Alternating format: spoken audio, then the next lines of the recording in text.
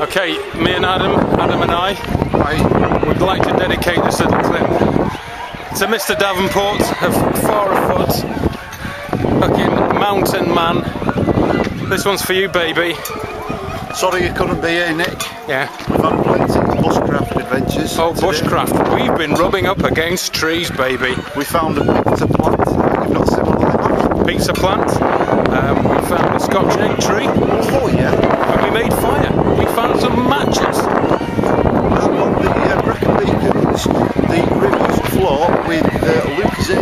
Sport. Yeah. So you can stick far afoot in your forest running barefoot malarkey.